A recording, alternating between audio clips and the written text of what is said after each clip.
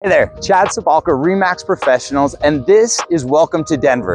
Today we're taking a look at Littleton, which is an extraordinarily amazing place and a special place to me as it's where I grew up and where I am raising my family today. So to give you a little bit of background on Littleton, it was settled in the late 1860s during the gold rush here. I'm walking right along the Platte River this morning on what is a brisk fall morning here in Denver. It's a little chilly down here, but this river is a giant reason why Littleton was settled because, well, there was gold down there. Littleton was incorporated in 1872 and has since grown substantially. Littleton itself is home to about 42,000 people. Now that's within the city boundaries of Littleton, but Littleton is special because it actually incorporates another 11 counties within its mailing address. And if people say I'm from Littleton, there's actually a better chance that they're outside the city limits, but inside the mailing. All right, so let's talk some numbers. If you're living in Littleton, in the actual city of Littleton, the average household income is about $74,000. But when you include those other 11 zip codes, that number jumps up to actually over $102,000. Real estate wise, the average sold property in 2022 was just over $740,000. Currently on the market, the cheapest single family residence you'll find is down in Roxborough Park. It is a property very much in need of rehab. It's listed for $350,000 and the most expensive house in Littleton is a whopping 4.6 million. Just look at how beautiful that house is. So before I go and show you some pretty cool neighborhoods and talk about houses, I wanna hit on some points of interest that make Littleton so darn cool to live in. And we're gonna start at one that's right over there.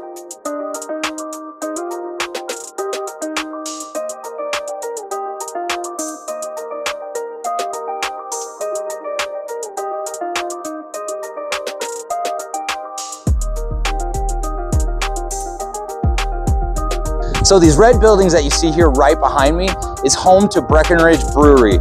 They started obviously up in Breckenridge. A couple years ago, they decided to make the move down here to the front range for a couple of reasons. They needed space and they needed water. So they set up shop here. If you've never had Breckenridge beer, it's absolutely fantastic. But the reason that this is such a cool point of interest isn't necessarily the beer that they brew.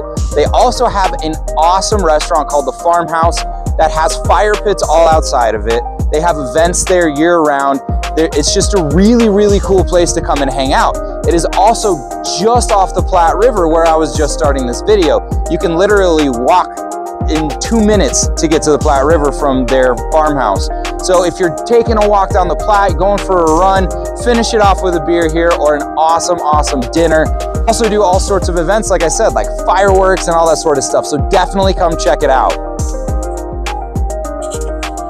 nothing better on a brisk fall morning in Colorado than a delicious cup of coffee. I want to thank my friends here at Atlas Coffee. They make some of the best coffee in all of Littleton. And I mean, just check out how awesome this space is.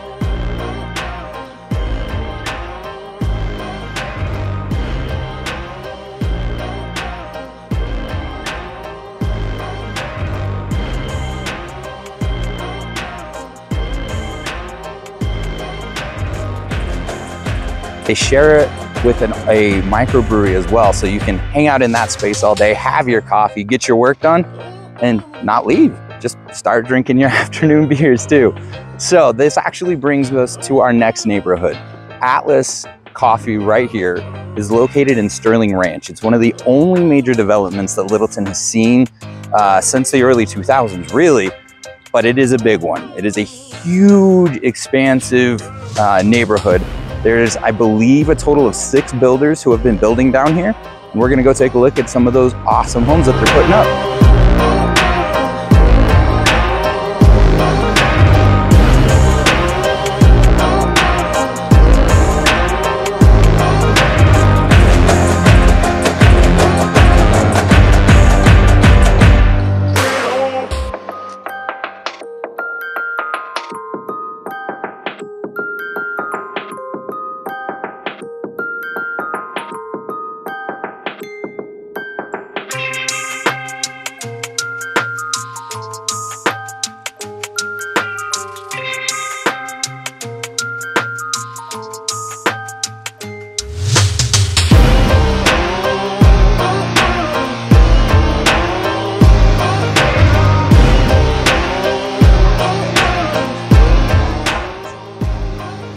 So the builder that we're checking out here in Sterling Ranch is called Tri Pointe. They're a national builder. They do absolutely phenomenal work.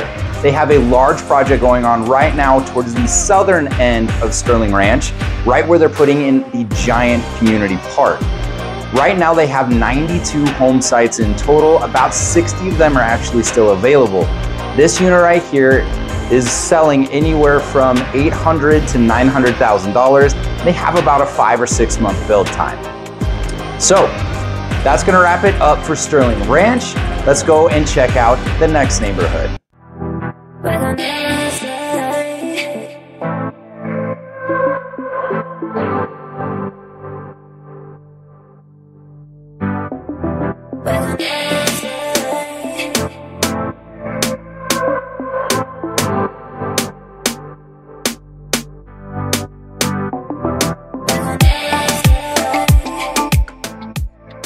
Now, when you're talking about Littleton, you definitely need to take a look at downtown Littleton. Downtown Littleton is amazing. About 15 years ago, it started to go through kind of a, a renaissance where they started to put up all these awesome restaurants. You have amazing coffee shops, bars, and it's just kind of become the social hub of Littleton. At the end of the street, you have the original Littleton Library, which is now and has been for a while a melting pot that is an amazing fondue restaurant I know a lot of you guys out there probably have them. It overlooks the mountains and it's, it's just awesome.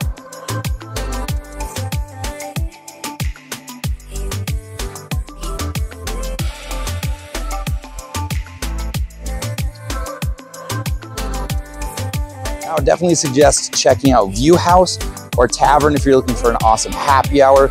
Smoky Fins also has an amazing happy hour and surprisingly good sushi for being a landlocked state. Uh, is the best Taco Tuesday you're gonna find. They have amazing margaritas, great tacos. Definitely check those out.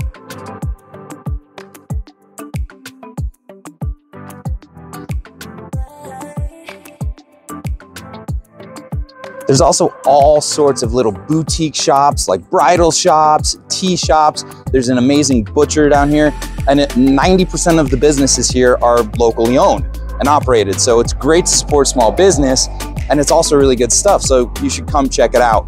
Brunches are amazing. This is really, really kind of the place to go if you want to get really good food, be able to walk around and take a look at some awesome shops. Now, if you're looking for real estate around downtown Littleton, what you're gonna find is gonna be mostly 1950s, 60s brick ranches that have been largely renovated through the fix and flip boom. Um, there are a couple of luxury townhouse new build developments that are all walking distance to downtown Littleton here. So if you're looking to be within walking distance of what is kind of the, the nightlife social hub of Littleton, you can absolutely make that happen.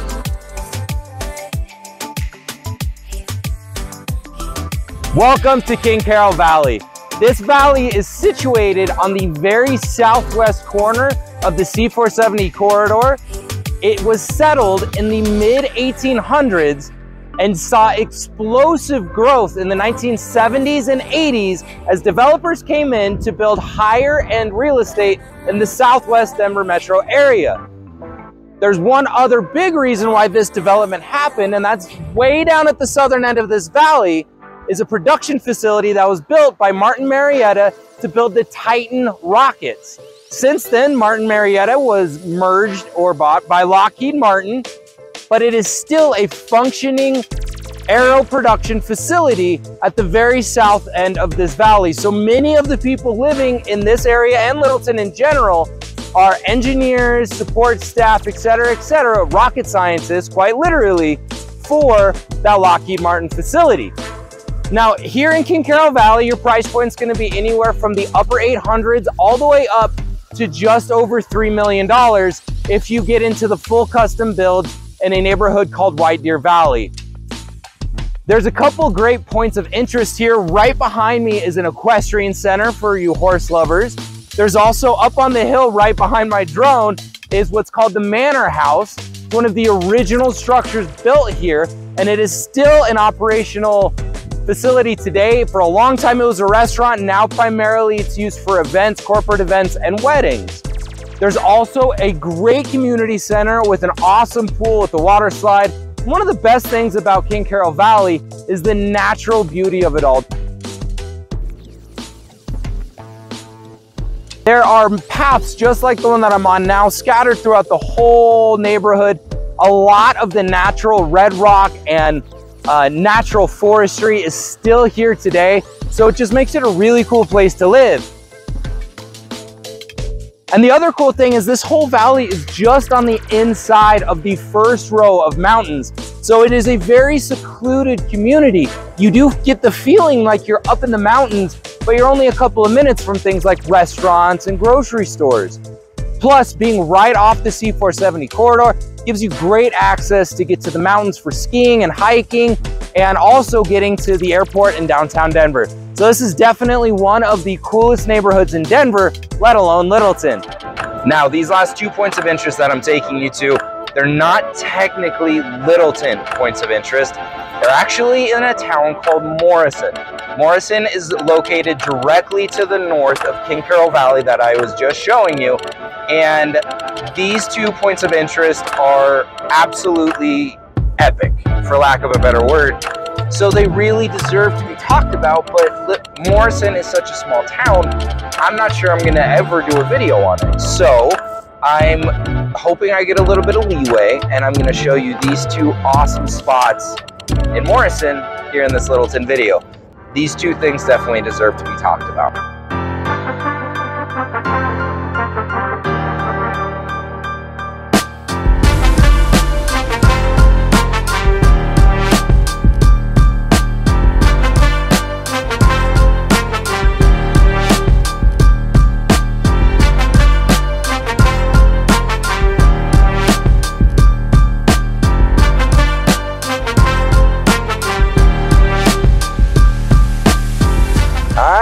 So you see what's behind me, Red Rocks Amphitheater.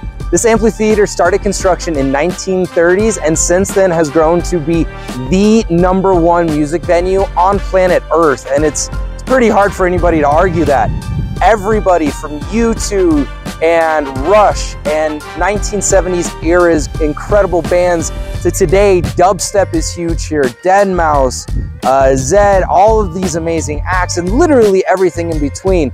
My personal favorite concert I've ever seen here was an acoustic set by country artist Eric Church. The very first uh, show I ever saw here was Hanson when I was in second grade. So it really runs the gambit. This is kind of a mecca for music artists to come and play here. A lot of times when musical artists come, they have to do more than one night because it only does sit about 9,000 people. But if a huge act like a, a Luke Combs or a Chris Stapleton come to play this venue, they have to do more than one night to accommodate it, but they want to come play here because it is just so epic. So if you, even if you never move to Littleton and never decide to make Denver your home, I highly suggest putting at least one show here on your bucket list because it really, really is just that incredible.